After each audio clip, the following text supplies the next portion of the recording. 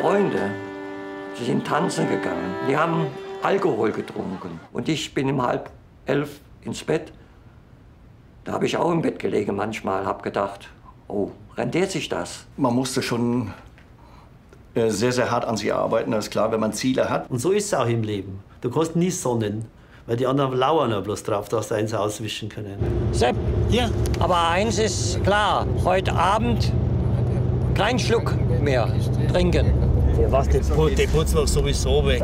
Da können wir durchsaufen und dann wird er weggeputzt.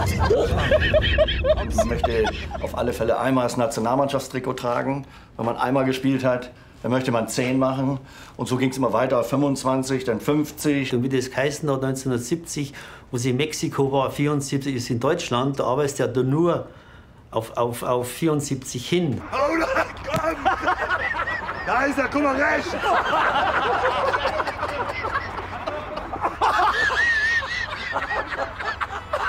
Ich weiß nicht, wie viele Millionen Fußballer auf der ganzen Welt gibt. Und elf wären es bloß. Also das ist für einen Fußballer sowieso das Größte, was man äh, gewinnen kann. Was da in dem Moment passiert ist, wie der Schiedsrichter abgepfiffen hat, das kann man, das kann man nur selbst erleben.